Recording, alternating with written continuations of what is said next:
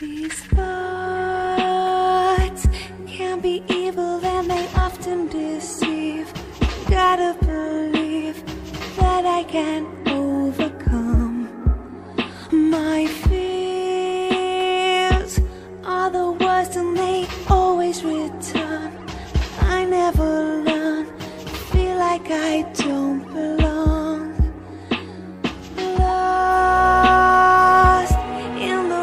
package of a million bad dreams. Hard to function, I just need some routine. But it's obscene. When did they stop the